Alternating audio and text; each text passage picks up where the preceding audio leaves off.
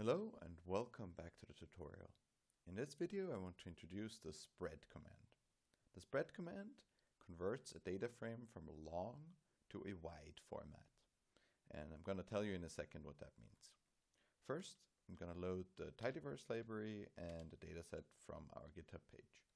You can find the link in the uh, data visualization section of the website uh, and just run this command to also get the data frame into your R session if you want to play along.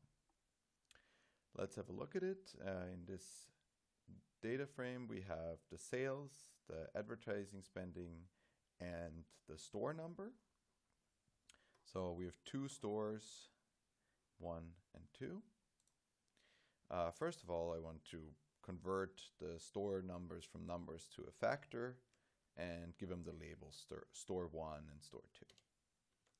Second, I'm also adding a date variable, which will then uh, act as the date of sales and date of advertising spending um, in our data frame. I'm just adding a date from today 100 days back.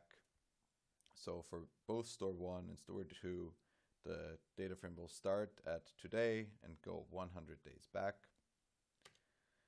And in this particular example, I am only interested in the sales data. So I am selecting just the store, sales, and date columns in the data frame and arrange it by date. If we have a look at this, we can now see that we have store 2, uh, sales, and the date, store 1, sales, and the same date.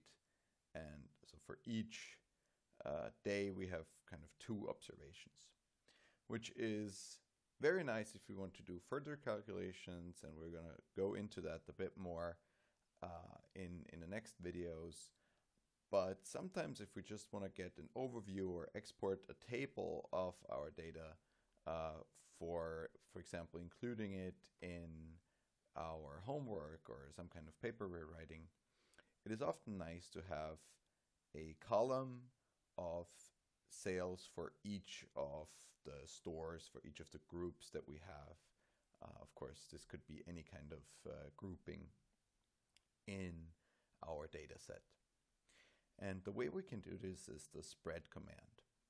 The spread command takes the variable in which our groups are identified as the first argument if we pipe our data set into it, and then takes the variable which should be the value of each group and in this case date um, in the result. And then I'm just piping this into head to uh, see the first couple of lines of the result. So you can see now we have for each date one row and then we have the sales in store one and the sales in store two if we have you know five or six groups that is a very nice way of visualizing the data and kind of compare them on a daily basis or of course this could also be some kind of other value. Thank you very much for watching and see you soon.